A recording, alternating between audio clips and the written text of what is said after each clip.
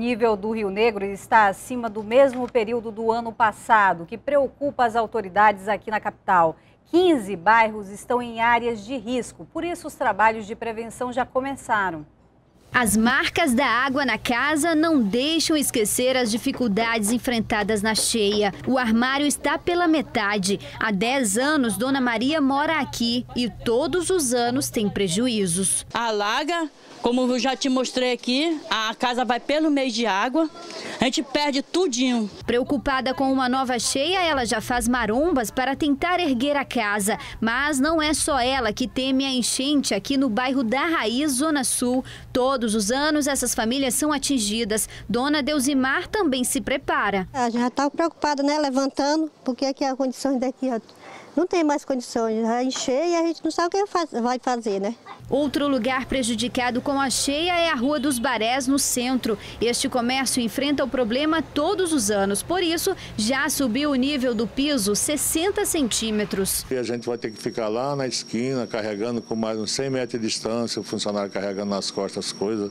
Então, realmente vai ser uma dificuldade muito grande. Este outro empresário também lamenta o prejuízo. Porque cai muitas vendas, né? Tanto o Ribeirinho não vem comprar porque está alagado e nós aqui fica ruim a locomoção aqui. Apesar do rio ainda estar baixo, a preocupação com uma nova cheia é grande. Isso porque o nível do Rio Negro está acima comparado com o mesmo período do ano passado. Hoje, o nível das águas chegou à marca dos 24 metros e 93 centímetros. No ano passado, nesta época, marcava 24 metros e 60 centímetros. E nesse momento, o Rio Solimões ele vem apresentando volumes de água muito altos e, portanto, sinalizando uma cheia acima da média e que acaba se refletindo aqui na subida do rio no porto de Manaus. 15 bairros são considerados de risco na capital. Os mais atingidos são a Orla do Educandos e São Jorge. A Defesa Civil já começa os trabalhos. A Secretaria de Defesa Civil de Manaus ela intensifica nesse momento as ações de prevenção nas áreas que são afetadas pela cheia. No estado, seis municípios estão em situação de emergência: Itamaraty, Guajará, Ipixuna, Eirunepé, Envira e Canutama. Outros sete estão em estado de alerta. A Defesa Civil já distribuiu mais de 32 toneladas de alimentos e realiza uma campanha para arrecadar ajuda humanitária às famílias afetadas. Serão arrecadados alimentos não perecíveis, fraldas infantis, redes e sandálias de borrachas. O posto de arrecadação será na sede da Defesa Civil, na Cachoeirinha.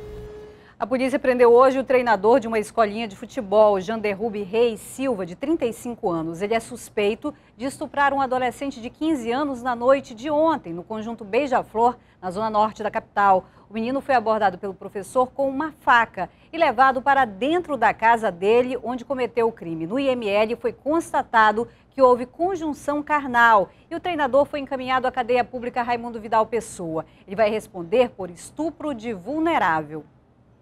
Quatro pessoas foram executadas a tiros no início da tarde de hoje, na comunidade Novo Milênio, na zona norte da capital. O crime pode ter sido motivado por uma disputa de ponto de drogas. O homicídio foi por volta do meio-dia nesta casa, na comunidade Novo Milênio, Zona Norte. Segundo a polícia, os assassinos entraram na casa por este local aqui. Eles pularam o muro, amarraram as vítimas e as executaram com tiros na cabeça. A polícia ainda suspeita de que o crime tenha sido motivado por disputa de território para o tráfico de drogas. A gente já tem alguns indícios, foi encontrado pequena quantidade de droga na casa. A gente tem também é, uma cápsula que foi encontrada aí. A gente tem encontrado uma contabilidade, né, é relacionada a, a, tráfico de drogas.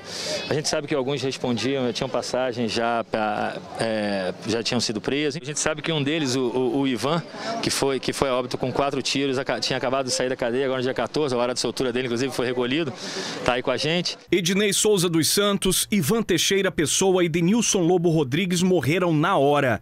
Uma mulher, identificada apenas como Mel, foi socorrida e levada ao hospital João Lúcio, mas também não resistiu. Uma adolescente de 17 anos, irmã de uma das vítimas, estava na casa no momento da execução e escapou. Esta mulher, irmã da adolescente, confirma que todos eram usuários de drogas. Eles eram usuários de drogas? É, usuário.